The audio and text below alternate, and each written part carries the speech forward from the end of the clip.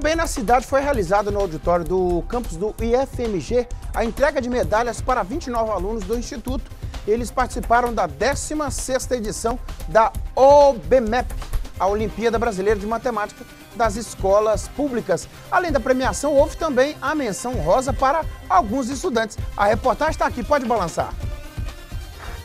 As medalhas sobre a mesa significam resultados de muito estudo e dedicação. No auditório do campus do IFMG de Governador Valadares, entre os convidados, amigos e parentes dos alunos que conquistaram as medalhas.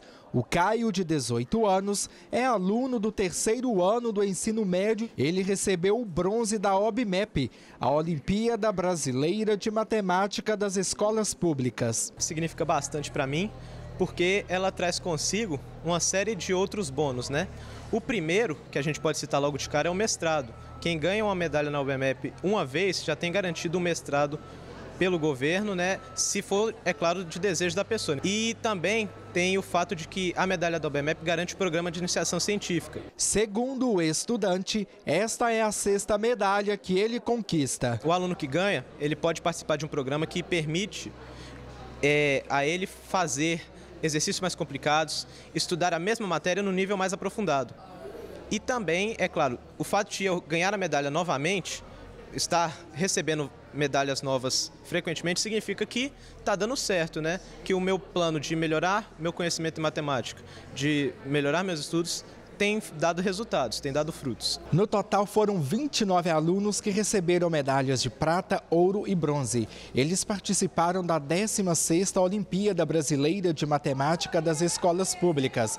Alguns alunos também receberam menções honrosas. A Camille Vitória também recebeu a medalha de bronze. Ela conquistou outras premiações, vai cursar medicina.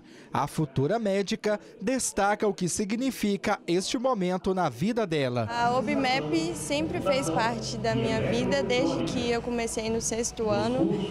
E assim, eu sempre gostei muito de matemática, então eu tinha assim uma facilidade para para resolver as questões e eu sempre gostei muito. E desde o sexto ano é, eu fui envolvida com a OBMEP e nesse tempo eu conquistei é, menções honrosas, uma medalha de bronze, uma de prata e agora conquistei mais uma de bronze e eu estou muito, muito feliz por ter conseguido isso. Quem também está feliz é a Melissa. Ela recebeu monção honrosa. Ah, para mim é mais uma conquista é, em meio a isso tudo. Só o fato de já ter passado numa federal agora duas vezes, né? Primeiramente o FMG, depois o FJF e agora ser homenageada na área da matemática para mim é uma conquista, onde está faltando muitas mulheres ainda é, para se desempenharem cada vez mais. Muito gratidão por onde eu passei, é, todas as escolas públicas e por último em FMG. O coordenador da OBMEP, Carlos Torrente, exalta a atuação de governador Valadares e demais cidades da região na competição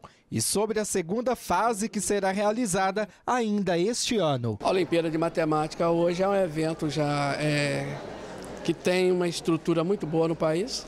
Só que na nossa região são 360 mil alunos participando da primeira fase. 5% desses alunos vão para uma segunda fase.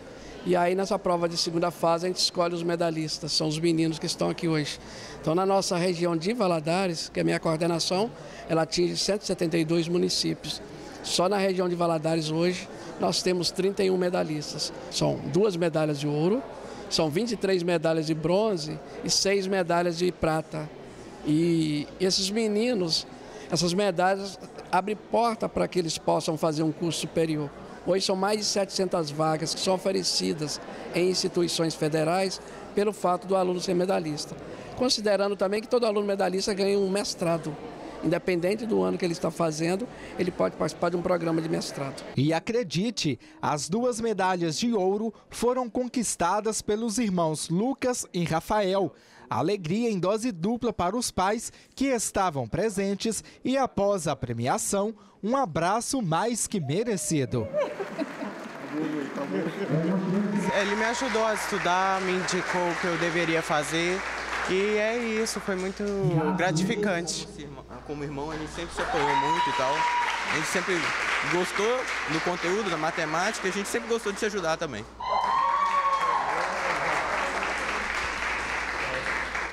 Ah, e os pais ficam felizes vão pagar aquele churrasquinho aí pros irmãos Freitas, né? Ah, um abraço pro matemático aí, Torrente. Esse é fera e é telespectador nosso. Abraçando ele, abraço também o Paulo de Tasso.